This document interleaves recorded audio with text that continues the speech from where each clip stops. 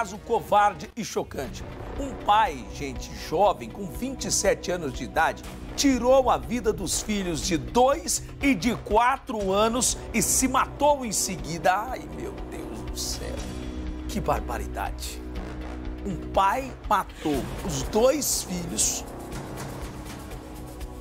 e logo depois tirou a própria vida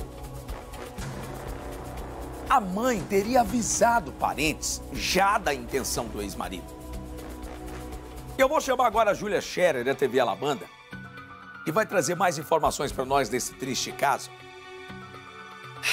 Tem que respirar, Júlia, porque a gente que é pai, a gente que, que gosta de crianças, a gente que ama o ser humano, eu amo o ser humano, a gente vê um caso como esse, a gente não tem outra coisa a dizer a não ser assim, aonde chegamos?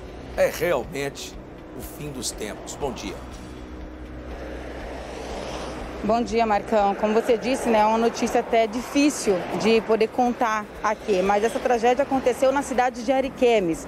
O homem, Jonathan William, de 27 anos, segundo informações da polícia, ligou para a ex-mulher e disse que iria matar os dois filhos deles, Germano, de dois anos de idade, e William, de quatro anos de idade. Após decapitar as duas crianças, Marcão, ele tirou foto dos meninos mortos em cima da cama e mandou para a ex-mãe dos meninos. Em seguida, ele se matou. A mulher que estava em outra cidade chamou a polícia militar, acionou a PM, que foi até o local e quando chegou lá constatou essa cena do crime. As duas crianças já mortas e o homem pendurado em uma corda, Marcão. Eu fico muito de, triste de ver tudo isso e ter que noticiar casos assim, porque olha, eu fico vendo como que as pessoas estão se tornando, no que as pessoas estão se tornando. Algumas pessoas perderam realmente o respeito, o amor pelo próximo e agora dentro da própria casa. Como é que o canalha, se o cara quer tirar a vida dele, quer ir pro inferno, é um problema dele. Ele decide com a própria vida. Agora, matar duas crianças inocentes.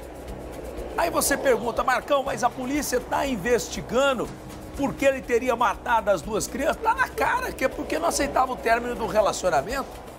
Tá na cara. A ex-mulher já teria avisado, segundo informações aos parentes aí, ó, a intenção do ex-marido. Você concorda comigo, Rafa? Já teria avisado. Então por quê? Tá na cara. A polícia já tem rumo da investigação.